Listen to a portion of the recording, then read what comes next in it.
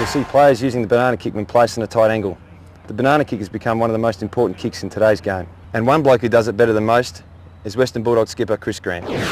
The banana is a kick which takes a lot of work to get right. But once you do master the art, you should have a fair amount of control over it. You need to hold the ball as though kicking a reverse torpedo punt. Basically, if you're a right foot kick, it will be your right hand which is placed forward on the ball and the opposite for the left footers out there. The angle you should hold the ball at should be the same as you would for a torpedo. The grip will count for little if you don't release the ball properly. It needs to be guided down so that it makes contact at an angle across your boot. The aim is to bend the ball when shooting for goal from a sharp angle.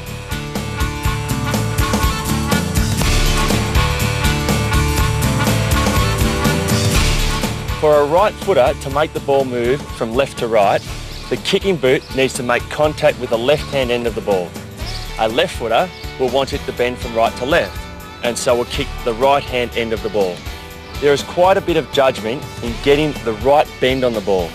The closer to the point and end you connect, the more sharply the ball will bend. Also, this is the one kick where your kicking foot does not go directly towards its target.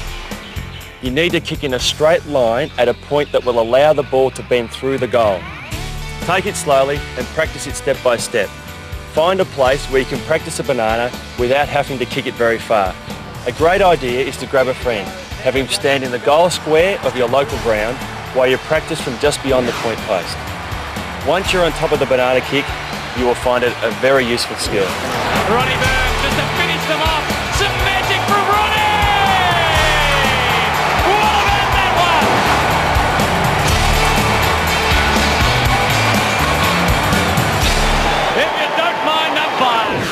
Great advice there, kids. But whatever you do, don't forget to work hard on your non-preferred side. If you're naturally a right footer, then work hard on getting your left foot skills up to scratch. There aren't too many top players these days who can't kick well on both sides of their body.